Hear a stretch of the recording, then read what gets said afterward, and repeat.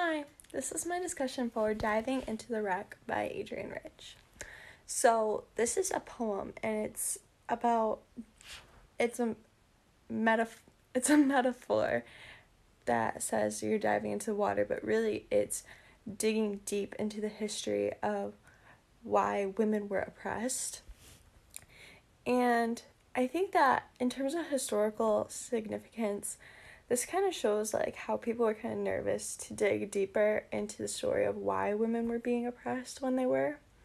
It kind of shows like it talks about this ladder that no one uses because no one wants to dig deeper. They don't want to know why. They're just content with moving forward. The diver in this piece though is like, no, I'm going down to the wreck and I'm going to find out. And I think that that wreck signifies the truth. It signifies what really happened, why women were truly oppressed, what happened, the painful, true, gory stories. I think that um, the author, Adrienne Rich, probably experienced some sort of like feminist awakening, if that makes sense.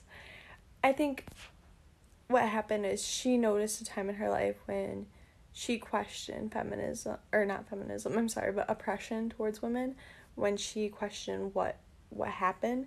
And i think that kind of carries out into in this poem. I bet she was probably raised by really strong female characters in than in her own life you know mom grandma aunt cousin whatever. But i think it definitely shows like a play on like this wanting to know the truth behind when women did not have equal rights because i think a lot of people just kind of move on as though things are better now. And Rich really takes that and says, no, why was it ever like this? And I think that that's something that's very strong and it shows that she has a really strong personality.